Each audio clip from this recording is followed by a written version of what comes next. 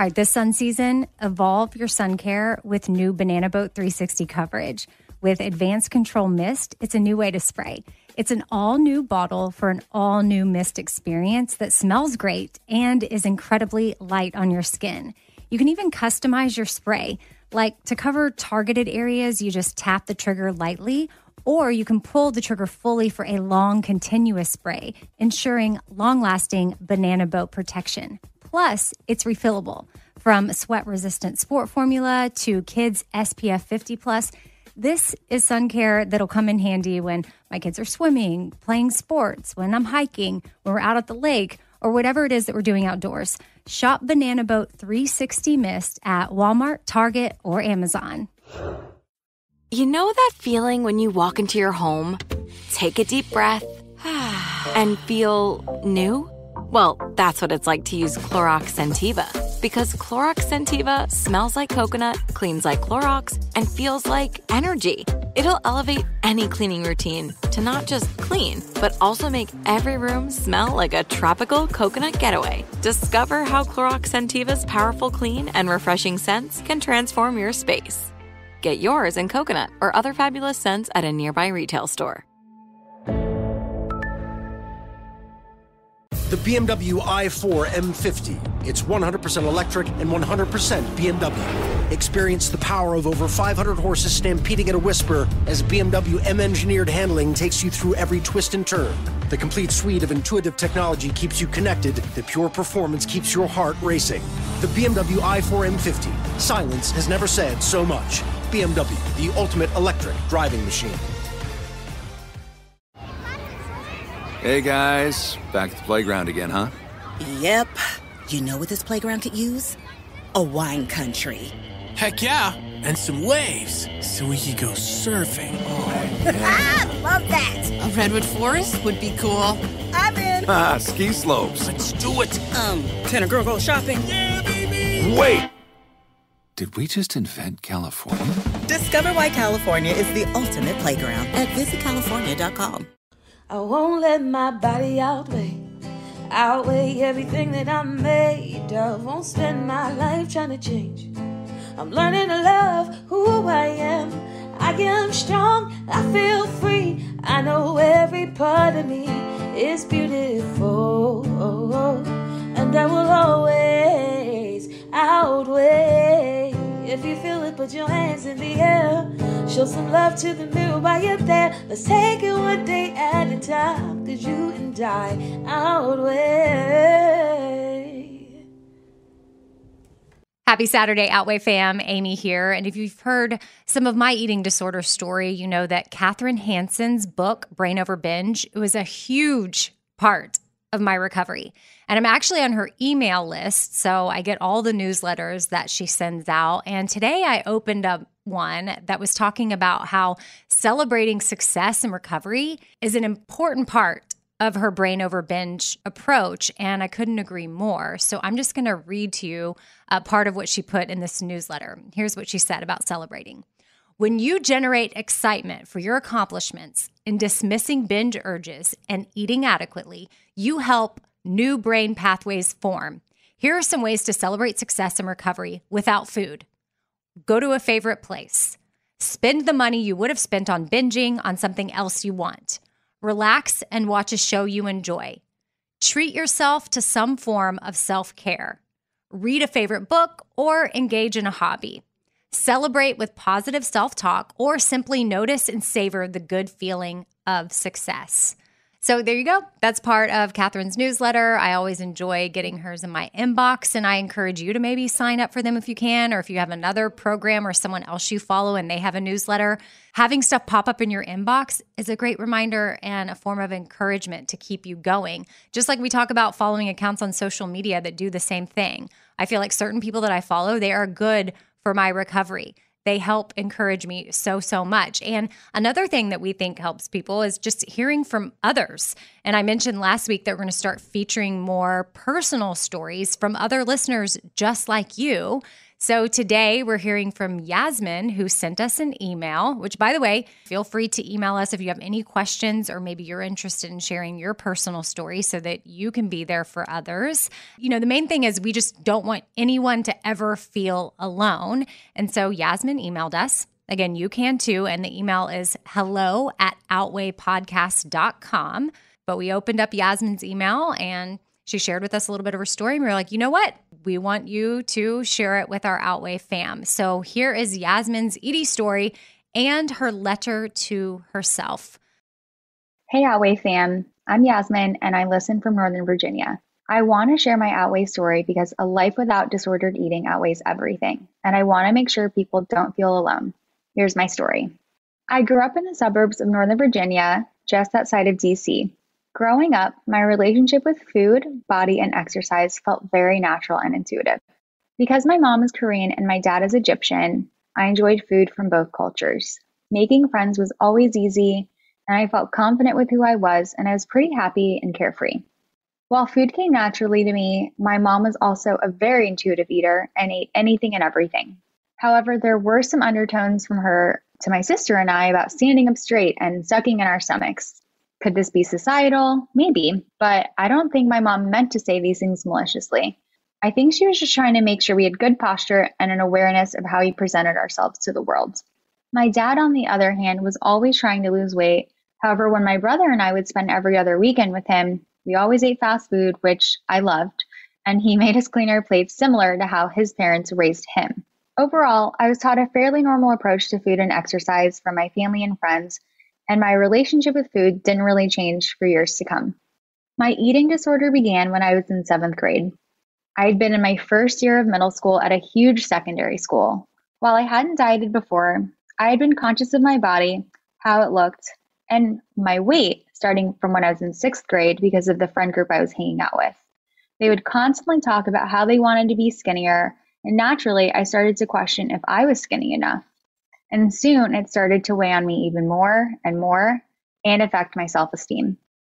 I went from being a carefree elementary school girl to a young teen whose body was changing through puberty and hating myself because, in my eyes, I was fat. That year in seventh grade, I made a deeper connection that eating less calories meant you lose weight, which meant you'd look prettier, that you'd be popular, boys would like you more, and that you'd be happy. Come summer, with all of that information in my subconscious, I would actually mistakenly skip meals because I was out and about with friends at the pool, walking to different friends' houses, then coming home for a bit before heading to dance class or basketball. And soon I noticed I had lost a few pounds and I was so happy about it, and of course, attributed that to the fact that I was skipping meals. This started a longing and addiction to skipping meals so I could see the scale go down every single day. If I didn't weigh less every day, that meant I would have to eat less. And this spiraled into not eating at all. By the end of that summer vacation, I had lost over 40 pounds. Not once did my family say anything, and the whole time I was getting praised and even encouraged by my friends about my weight loss. No one knew how unhealthy I was, and unfortunately, the encouragement and being thinner than ever, I had felt even more worthy than I had ever felt before. Looking back at pictures and remembering how I felt, I wasn't happy at all. I looked brittle, my skin was pale, I lost my period. I was never hungry. I was always cold. I would either isolate myself from any experiences involving food because I was scared, or I would lie to others saying I had already eaten. Even though I was suffering in so many ways and missing out on life, I didn't care because I was so numb to everything and nothing mattered more to me than seeing the number on the scale get lower day after day. What's crazier is that I didn't even know that I developed an eating disorder and didn't realize how thin I really was. That was until my sister came home from college after not seeing each other for a while, and I was shocked to see the state I was in. One night, my mom and my sister asked me to come downstairs and bring my scale. They made me weigh myself right there in front of them. I burst into tears, so embarrassed and scared. After a long conversation, my mom took me to my doctor, and the doctor said I was a normal weight and nothing was wrong. While my mom did try to help me, she didn't realize how deep my eating disorder was. Once we got home, my mom gave me an ultimatum to either gain weight or else I wouldn't be able to take dance or play on my basketball team anymore. Knowing that I wasn't willing to give up my hobbies, somehow I was able to convince myself to eat again, and as a result, rapidly gained weight becoming heavier than I was before while still under eating. I didn't know what was going on and I was scared to eat. Now began seven years of restricting my food, obsessively weighing myself, and over exercising in an effort to lose the weight again. But because my metabolism and hormones were so shot, nothing worked and I was trapped in a body I hated, a person I hated being, and felt like there was never going to be a light at the end of the tunnel. Come senior year of high school, I knew that I couldn't go to college looking like I did. I still felt fat and unworthy, and I couldn't be happy until I was thin. So I decided to completely stop eating and exercise even more. Throughout college, I became an obsessive runner, running for hours a day and continued to deprive myself of any food, and sometimes even water. I'd do anything to keep seeing the scale go down.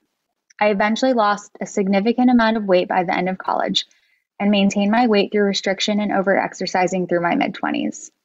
Similar to my experience in middle school, my thinness still didn't bring me any happiness. I felt worse than ever, constantly exhausted physically and emotionally, so much that I didn't have the energy to run anymore. I would sleep as long as possible so that I wouldn't feel hunger and punish myself if the scale ever went up. I even remember coming home one weekend when I was living in New York City and my mom noticing that I was missing a patch of hair and later learned that I developed an autoimmune disorder called alopecia areata. My body was completely shutting down and even gaining weight with extremely limited food. I felt like I couldn't bear to live in New York feeling so alone, tired, and numb in my body anymore, and decided to move back to Northern Virginia where I could spend more time with family and friends. After a few months of having my very first apartment living alone, I tried as hard as I could to continue living the way I'd been for the past 13 plus years, and eventually broke down one night and couldn't handle the pain any longer. My mom was abroad, so I called my older sister for advice on how to get out of this decade plus long spiral. And my sister had known for a long time I was restricting my food and using exercise to control my body, but was alarmed to hear the emotional, mental, and physical toll it had taken on me. With her advice, I eventually found a great eating disorder therapist and intuitive eating nutritionist who helped me recover. Recovering from my disordered eating slash eating disorder was the most difficult obstacle I'd ever faced. The hardest part was that I was scared of gaining weight and I didn't know if I could ever be quote unquote normal again. In recovery, I cried almost every single day because of the fear I had of getting fat.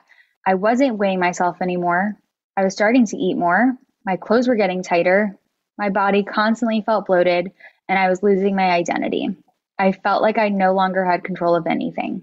I saw my therapist and nutritionist every week for about a year and a half, focusing on improving my body image, accepting that this journey would be worth it, learning ways to cope with my body changes, relearn how to listen to my body's hunger cues as they began to normalize, eat without any restriction on what or how much I could eat, and figuring out my identity again. In that initial year of recovery, I had gained over 70 pounds, and I know that because I looked at my old annual physical weigh ins once I was recovered. And sometimes I didn't recognize myself. While I did go through stages of learning to love myself, there were some times that I absolutely hated myself. Once I surrendered to my healing, I started to come around and see all of the positives in my recovery, and I had faith that everything would work out for me in the end. I started to enjoy food again took a more intuitive approach to movement and exercise, found energy for new hobbies, eventually began to accept myself for who I am, and my weight naturally began to normalize. I've been recovered for almost five years and have never felt so free with food and movement. While there are some days I struggle with body acceptance, body image, and relationship with exercise, I live a happier life now than I ever have, and I'm continuously on a mission to be at peace. I have a short letter to myself, Yasmin, you are worthy and beautiful the way you are. I'm so proud of your strength, courage, and growth over the last five years. Always remember that you experienced your journey for a reason and that you are now happier, healthier, and stronger mentally, emotionally, and physically than you've ever been before. You are so loved by your family and friends and will be a wonderful mom in the future. Love, Yasmin.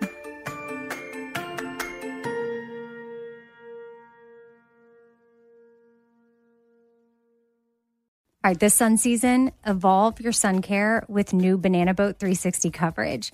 With advanced control mist, it's a new way to spray. It's an all new bottle for an all new mist experience that smells great and is incredibly light on your skin. You can even customize your spray. Like to cover targeted areas, you just tap the trigger lightly, or you can pull the trigger fully for a long, continuous spray, ensuring long lasting banana boat protection. Plus, it's refillable from sweat resistant sport formula to kids SPF 50 plus. This is sun care that'll come in handy when my kids are swimming, playing sports, when I'm hiking, when we're out at the lake, or whatever it is that we're doing outdoors. Shop Banana Boat 360 Mist at Walmart, Target, or Amazon. Hey guys, back at the playground again, huh? Yep. You know what this playground could use? A wine country. Heck yeah! And some waves so we could go surfing. Ah, love that. A redwood forest would be cool.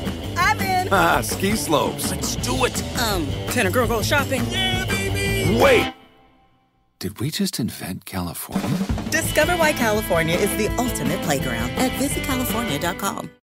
Are you feeling overwhelmed by anxiety, struggling to find restful sleep, or plagued by a restless inability to focus? It's time to break free from the chains of mental health challenges and discover a path to healthy living. Welcome to Amen University, founded by renowned psychiatrist and brain health expert Dr. Daniel Amen. Dr. Amen, alongside a team of esteemed doctors and experts in their fields, understands the struggles you're facing and are here to offer solutions. From debilitating anxiety to sleepless nights filled with worry, our courses are meticulously crafted to target these specific challenges head on. Join us on a journey of transformation led by Dr. Amen and a roster of top tier professionals. Say goodbye to the constant battle with your mind and embrace a future filled with hope and possibility. Visit our website today to explore our courses and start your journey towards a brighter tomorrow. Use code BRAIN10 and get 10% off. That's code BRAIN10 and get 10% off your first purchase. Amen University, because your mental health matters.